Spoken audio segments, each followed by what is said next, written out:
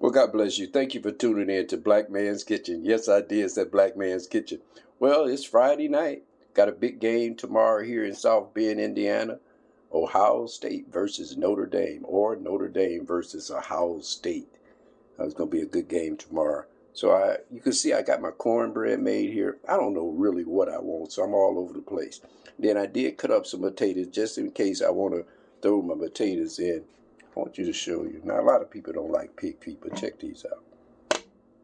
Okay. I just let them dance in there. And look, see, I made them. I don't cook them, split them no more. I keep them whole.